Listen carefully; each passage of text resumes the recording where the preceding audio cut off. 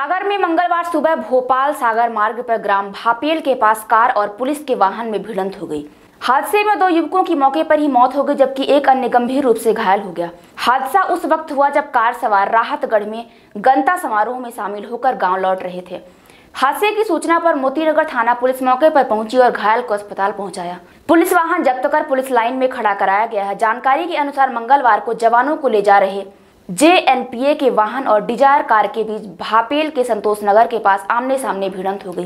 टक्कर इतनी भीषण थी कि कार के परखच्चे उड़ गए। दुर्घटना में कार में सवार ग्राम पाटन निवासी 28 वर्षीय हेमराज पुत्र दामोदर कुर्मी और 42 वर्षीय डेलन पुत्र सुखलाल कुर्मी के सिर में गंभीर चोट आई। हेमराज कार में फंस गया था। दोनों की मौके पर ही मौत हो गई।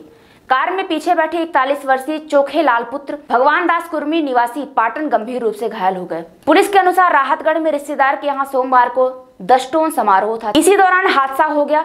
सब पोस्टमार्टम के लिए जिला अस्पताल लाया गया, जिसका पोस्टमार्टम कराकर पुलिस ने परिवार वालों को सौंप दिया। मोतीनगर थाना प्रभारी सतीश सिंह ने बताया कि तीनों युवक राहतगढ़ में गंता कार्यक्रम में गए थे।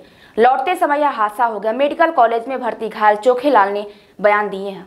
मामले की जाँच चल रही है। पुलिस का वाहन जवानों को लेकर भोपाल जा रहा था। इसमें सवार कोई जवान घायल नहीं हुआ। मृतक हेमराज की एक पुत्री है। खेती किसानी करने वाले डेलन की पाँच पुत्रियाँ हैं। उनकी दो बड़ी बेटियों की शादी हो गई है।